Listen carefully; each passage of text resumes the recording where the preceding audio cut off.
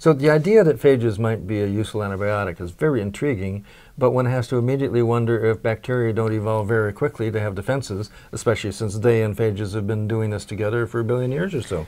It's certainly the case that phages and bacteria have been co-evolving. How important that is in an infection remains to be seen.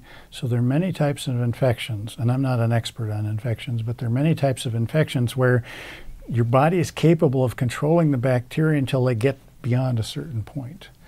So in that case, phages could come in, they can take off 90% of the bacterial population, maybe 99% of it.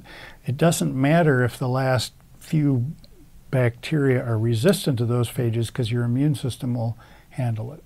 It mm -hmm. will, they will take care of the rest.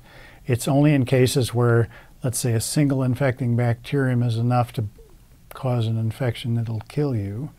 That's where you, I, th I think that's where the big problem with resistance is going to be. But if it's a threshold effect, phages are good at taking out, you know, certainly 99% or more of the bacteria in some cases.